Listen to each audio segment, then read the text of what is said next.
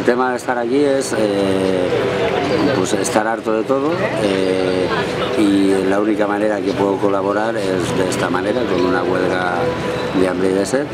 Eh, podría ser una huelga de hambre, pero una, no, no, me veo eh, psicológicamente preparado para una huelga de hambre de dos meses yo solo. Si fueran 200 personas, pues sí, eh, me vería capacitado 200 personas que aguantaran esa huelga de hambre de dos meses, las 200 personas, no que al día siguiente se fueran 199 y quedarme solo también. Estoy harto de todo, pero yo por mi, bueno, tengo 53 años, estoy bastante cascado, tengo una prótesis de cadera, tengo artrosis en las rodillas, tengo problemas de corazón, problemas de pulmones y la mayoría de las cosas no puedo hacer. Yo no puedo ir a una asamblea y quedarme cuatro horas de pie. Si me siento no me puedo levantar.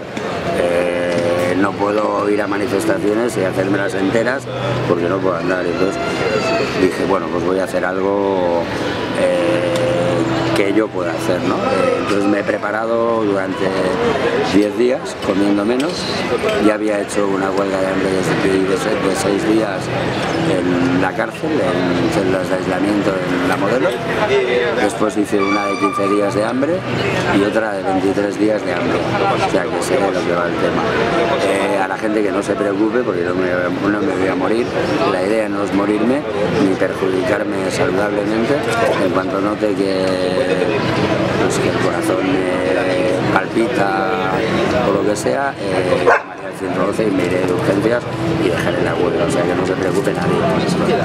Eh, mi idea era hacer una acción mediática rápida y dirigida especialmente al 15M, aunque yo no estoy en el 15M, pero dirigida al 15M. Y por eso no he hecho rueda de prensa con toda la falsimedia y me he negado a declarar a toda la falsimedia. Solamente he declarado en medios alternativos. Eh, y va dirigida al 15M en el sentido de que creo que ya se ha acabado la etapa de pasacalles de pandereta a ritmo de samba. Y entonces habría que pasar a dar un, giro a la, a la tuerca y pasar un poco la, seguir, siguiendo en la línea eh, pacífica, porque evidentemente eh, si nos enfrentamos a ellos violentamente tenemos las de, perder, pero creo que sí que habría que empezar con la desobediencia civil, la insumisión fiscal, eh, los impagos de luces, si nos vienen a cortar pinchamos luces, empezar a atacar al sistema por ahí. Convencer a la gente para que saque el dinero de los bancos, que es la única manera de que el sistema financiero se hunda. El problema de lo que tenemos ahora no es una crisis por falta de petróleo, no es una crisis por falta de alimentos, es una estafa del sistema financiero, está claro. Entonces no lo tenemos que pagar nosotros. Entonces planteémonos un poco eh, otra forma de lucha de la que estamos llevando y planteemos un poco si queremos eh, importar un poco de Islandia en vez, de seguir haciendo España. para mí lo que está haciendo el movimiento 15M ahora es ir detrás del gobierno. Está jugando el juego del gobierno. El gobierno quiere cambiar un artículo de Constitución, todos ahí, ¡oh! no, no, no, no. Cuando lo que hay que decir es no queremos la Constitución, queremos abolirla toda, no queremos solo cambiar ese punto, queremos abolirla toda. Y ya decidiremos si queremos una, pero en cualquier caso si hay una la haremos entre todos, no como esta que la habéis hecho entre cuatro hijos de puta. ¿vale? Eh, llegan las elecciones, hay el discurso en el 15M de estamos en contra del sistema electoral, pero se potencia el sistema electoral votando a los partidos minoritarios, ¿vale? Se potencia.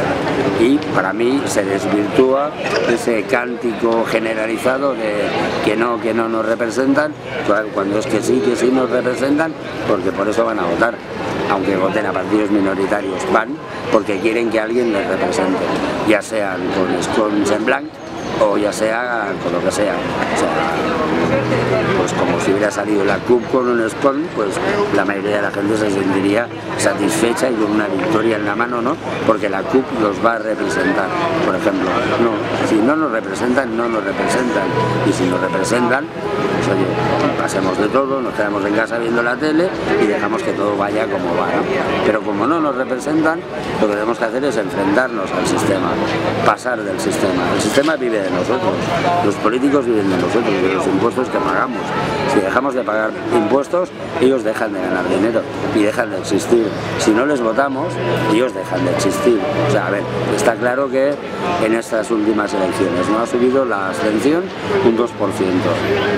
Eh, los votos a partidos minoritarios han sido 1.860.000. Si ese millón 860.000 se hubiese juntado la abstención, habría más ciudadanos que se hubieran abstenido que votantes del, PP. En cualquier caso, no hubiéramos ganado nada. El PP hubiera gobernado igualmente, porque aunque solamente vote Rajoy, se lleva la mayoría absoluta en el Parlamento y gobierna igualmente. Pero no es lo mismo, no es lo mismo gobernar con un 30% de respaldo que votar con un 15%.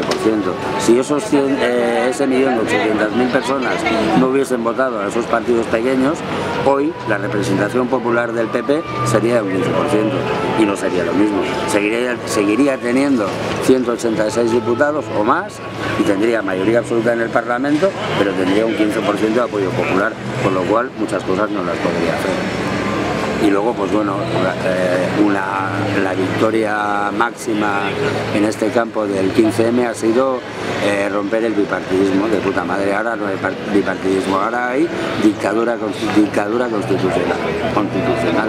Es una victoria del 15M eh, de puta madre. Por ahí andáis bien y entonces, bueno, vuelvo a repetir, el planteamiento de mi acto es intentar cambiar el chip de la gente, que la gente se dé cuenta de que, eh, la etapa de la manifestación eh, con permiso se ha acabado y que no hace falta hacer manifestaciones sin permiso igual, pero hace falta empezar a hacer otras cosas, pues eso, la insumisión fiscal, desobediencia civil, sigue estando dentro del, pacifismo. ¿Por qué no? Uy, bueno, pues ya está. Y que no me voy a morir, o sea que mañana, como pasado mañana como mucho, estoy en el hospital tranquilo.